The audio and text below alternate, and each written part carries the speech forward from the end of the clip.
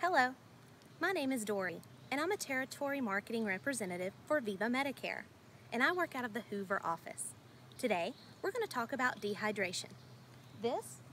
This is just some of my flower garden. And like me, you probably have hobbies outside.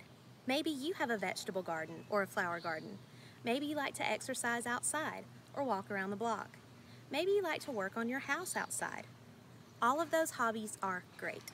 Just make sure you're staying hydrated because it's summer in Alabama and it's hot. Did you know that senior citizens are actually more susceptible to dehydration than the rest of the population? This is so because as we age, our body holds less water. Some symptoms of dehydration include, of course, thirst, dark urine, and headaches. Now, just because you're thirsty that doesn't mean that's when you should start drinking water. If you're thirsty, the dehydration process has already started.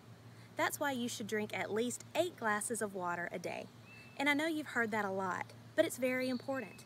If you're sitting inside and you're not sweating, you're not working outside, those eight glasses are the minimum that you should drink.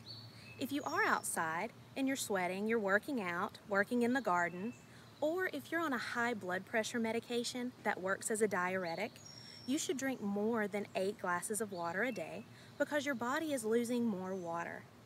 Well, that's all that I have for you today. So stay hydrated, stay happy, and stay healthy. Thank you.